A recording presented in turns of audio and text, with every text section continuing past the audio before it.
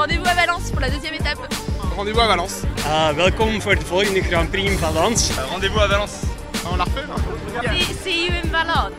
Come to Valence for the next race. We'll see you there. Un rendez-vous à Valence. Rendez-vous à Valence pour la deuxième étape.